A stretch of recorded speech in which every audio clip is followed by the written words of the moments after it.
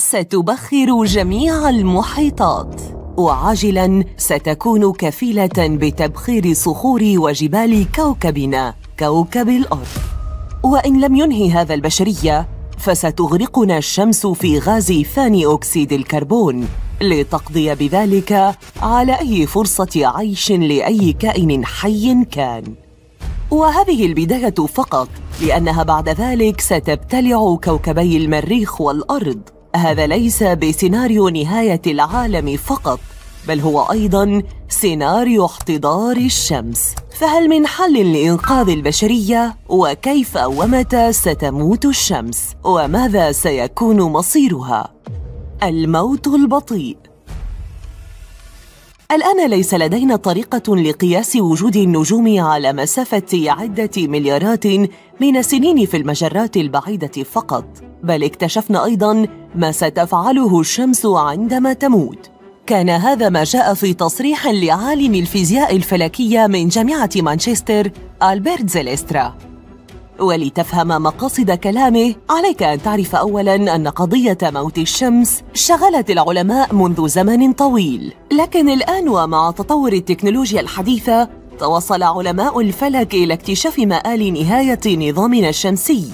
فبحسب ما تم نشره في تقرير المجلة العلمية ساينس أليرت يتوقع العلماء أن الشمس التي تبلغ من العمر حالياً 4.6 مليار سنة. ستبلغ نهاية أجلها بعد 10 مليارات سنة على أبعد تقدير. كما ويرجحون أن الشمس خلال تلك المدة وتقريبا بعد خمس مليارات سنة أخرى ستتحول إلى ما يشبه العملاق الأحمر.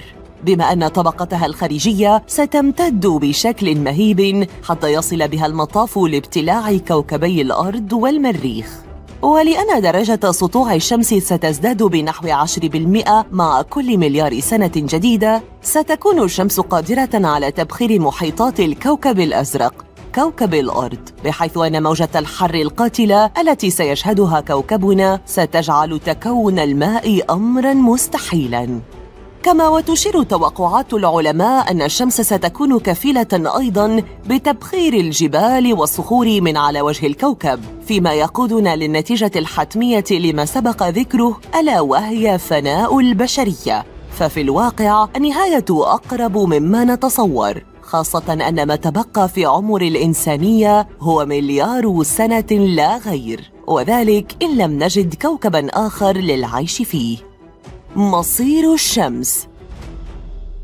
يرجح العلماء أن الشمس ستتقلص من عملاق أحمر لتصبح قسما أبيض في بادئ الأمر ثم تنتهي كسديم كوكبي وهي النظرية التي شرحها نفس العالم ألبرت زيليسترا في بيان صحفي له. إذ أشار إلى أن النجم عندما يموت فإنه يقذف كتلة من الغاز والغبار في ظاهرة يطلق عليها غلاف النجم وهو عبارة عن غلاف له القدرة أن يصل إلى نصف كتلة النجم الذي سيكشف عن لبه قبل أن ينطفئ ويموت. بحيث عندها فقط سيلمع هذا الغلاف المقذوف بشكل ساطع بفضل اللب الساخن لحوالي عشرة آلاف عام.